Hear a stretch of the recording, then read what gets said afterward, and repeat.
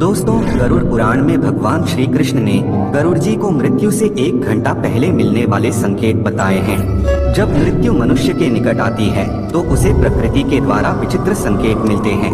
मनुष्य को अगर यह चीज़ें अचानक ही दिखाई दें, तो उसे समझ लेना चाहिए कि कुछ ही मिनटों में उसकी मृत्यु होने वाली है। कई लोग इन संकेतों को नजरअंदाज कर देते हैं। और कुछ लोग ऐसे भी हैं जिनको ये संकेत समझ नहीं आते और मृत्यु को गले लगा लेते हैं। ये संकेत जैसे मिले, मनुष्य को अपने जीवन के अंतिम क्षणों में ईश्वर को याद करना चाहिए, ताकि उसे नरक की सजा भुगतनी ना पड़े।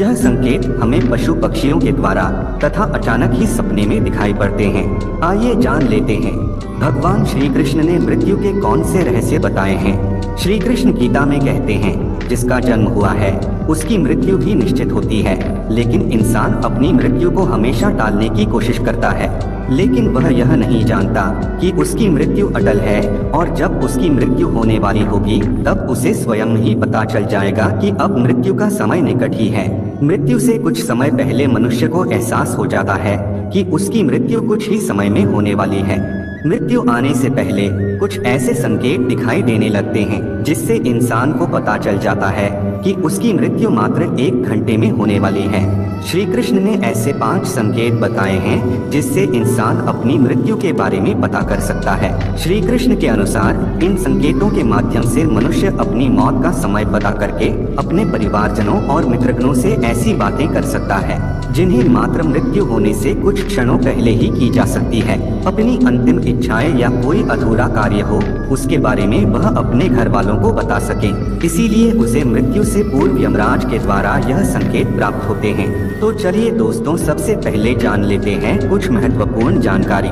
इस संसार में जिसने जन्म लिया है, उसकी मृत्यु होना निश्चित है। ऐसा माना जाता है कि कर्म ही मनुष्य का सब कुछ है। कर्मों से ही भाग्य की उत्पत्ति होती है। इसलिए जिस व्यक्ति ने जैसे कर्म किए होंगे, उसके आधार पर ही उसे अगला जन्म मिलता है। जब मनुष्य का भाग्य लिखा जाता है, उसी समय उसकी मृत्यु भी निर्धारित हो जाती है। परंतु कई लोगों के मन में यह संशय अवश्य होगा कि क्या हमें मरने से पूर्व मृत्यु का आभास हो सकता है। इसके क्या संकेत गरुड़ पुराण में बताए गए हैं? इन सभी प्रश्नों के उत्तर जानने के लिए वीडियो को पूरा देखें। गरुड़ पुराण में जीवन से लेकर मृत्यु तक और उसके बाद आत्मा की यात्रा के बारे में विस्तार से बताया गया है। गरुड़ पुराण में भगवान कृष्ण ने मृत्यु के बाद होने वाली घटनाएँ, नरक लोक और स्वर्ग लोक, इन सभी विषयों के बारे में विस्तार से बताया है। इस संसार में जन्मा हर जीव, जीवन और मृत्यु के चक्र में फंसा हुआ है। जिस प्रकार जन्म सत्य है, उसी प्रकार मृत्यु भी एक सत्य है, जिसे कोई ठुकरा नहीं सकता। इसीलिए मृत्यु पर विजय पाना असंभव है। ईश्वर की इच्छा के बिना कोई भी व्यक्ति अपनी आयु से एक क्षण भी अधिक जीवित नहीं रह सकता।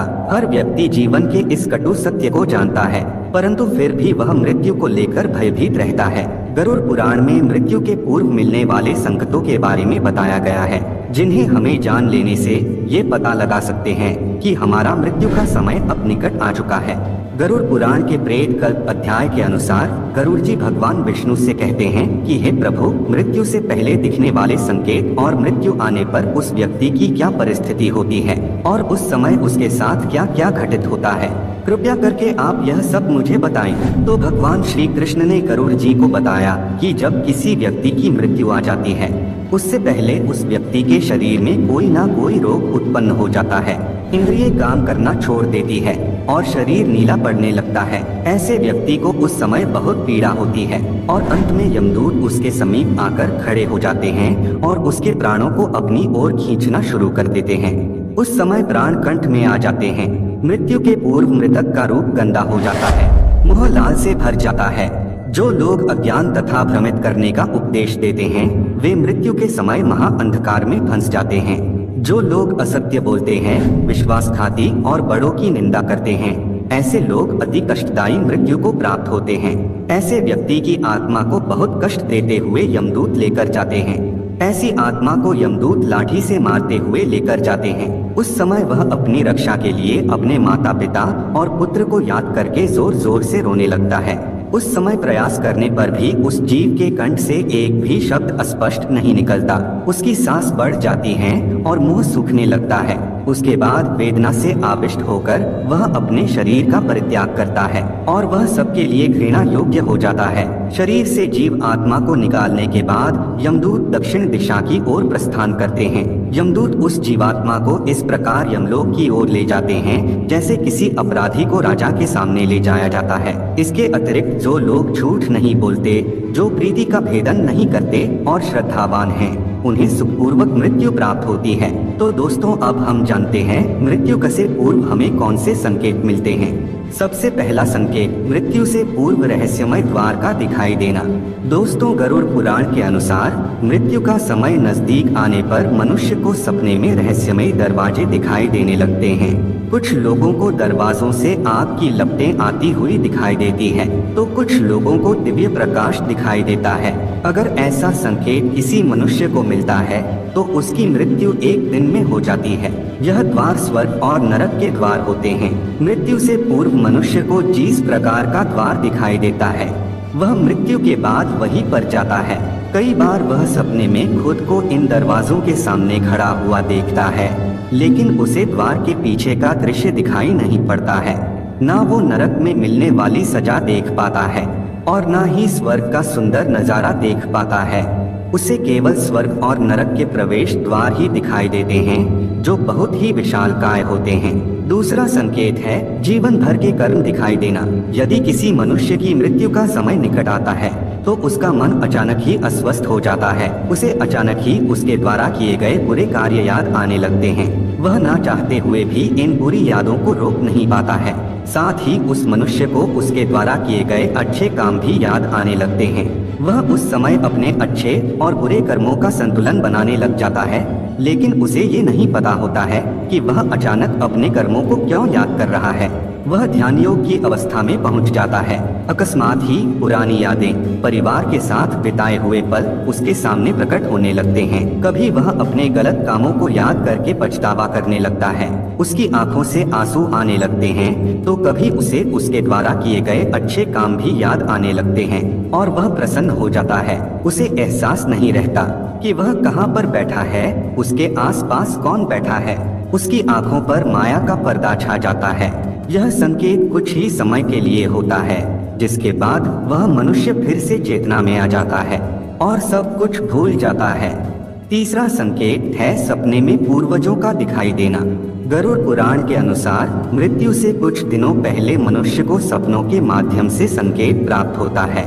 यह संकेत उसके पूर्वजों द्वारा मिलता है, जिसमें मनुष्य की मृत्यु होने वाली होती है तो उसे सपने में उसके पूर्वज दिखाई देते हैं। अगर सपने में पूर्वज रोते हुए दिखाई दे, अथवा बहुत ही दुखी अवस्था में दिखाई दे रहे हैं तो समझ जाना चाहिए कि वह मनुष्य अब कुछ ही दिनों का मेहमान है। उसे उसकी सभी मृत परिजन बारी बारी से दिखाई देने लगते हैं। कुछ लोग इसे मात्र एक सपना समझकर दुर्लक्षित कर देते हैं। लेकिन यह एक मृत्यु का संकेत होता है। परलोक में निवास करने वाले मृत परिजन सपनों के माध्यम से हमें बात करने की कोशिश करते हैं, जिसे कभी नजरअंदाज नहीं करना चाहिए। चौथा संकेत, उल्लू तथा जली हुई लकड़ी का दिखाई देना। गरुड़ पुराण के अनुसार, उल्लू का घर पर आकर बोलना अशुभ संकेत होता है। यदि ऐसा बार बार होने लगे तो यह मृत्यु का ही संकेत होता है। उल्लू ये संकेत देता है कि उसका काल निकट आ चुका है। जो व्यक्ति रात में उल्लू की आवाज़ सुनकर जाग जाता है, और उसे डर लगता है तो उसके मृत्यु का समय अब निकट है ऐसा समझना चाहिए। उस व्यक्ति को अपने परिवार के लोगों के साथ समय व्यतीत करना चाहिए और जीवन में की गई गलतियों को सुधारना चाहिए। अगर व्यक्ति को सपने में जलती हुई चिता अथवा जलती हुई लकड़ी दिखाई देती है तो यह भी मृत्यु का संकेत माना गया है। ऐसे व्यक्ति की मृत्यु इक्यासी दिनों के भीतर हो जाती है। यदि मनुष्य सपने में खुद की अर्थी देखता है तो उसकी मृत्यु का समय नज़दीक है। ऐसा समझना चाहिए। पांचवा संकेत यमराज के दूतों के पास आने का आभास होना। श्री कृष्ण के अनुसार, जिस मनुष्य की मृत्यु में एक प्रहर का समय शेष रह जाता है, उस मनुष्य को यमराज के दूत उसके पास आने का आभास हो जाता है। उसे महसूस होने लगता है कि उसके पास कोई नकारात्मक शक्ति मौजूद है जो उसे खींच रही है। लेकिन जब उसकी मृत्यु में केवल 21 सेकंड शेष रह जाते हैं तो उसे अचानक ही उसके सामने खड़े यमदूत दिखाई देते हैं, जिन्हें देखकर वह अचानक ही अपना मानसिक संतुलन खो देता है और स्तब्ध हो जाता है। वह मनुष्य यमराज के दूतों को देखकर भयभीत हो जाता है, लेकिन वह उस समय कुछ भी बोल नहीं पाता है। वह रोने लगता है, लेकिन फिर भी उसके परिजन समझ नहीं पाते हैं कि वह क्यों रो रहा है। उसके कुछ ही समय बाद उसकी मृत्यु हो जाती है। तो दोस्तों, इस प्रकार से गरुड़ पुराण के अनुसार मनुष्य की मृत्यु का समय करीब आने पर उसे ये पाँच संकेत दिखाई देते हैं। ऐसे मनुष्य को अंतिम समय में केवल ईश्वर का ध्यान करना चाहिए और दान धर्म करना चाहिए ताकि उसे मृत्यु के बाद नरक में न जाना पड़े। उम्मीद है आपको यह जानकारी अच्छी लगी होगी। वीडियो को लाइक ज़रूर करें। कमेंट में जय श्री कृष्ण अवश्य लिखें। साथ ही चैनल को सब्सक्राइब करना ना भूलें।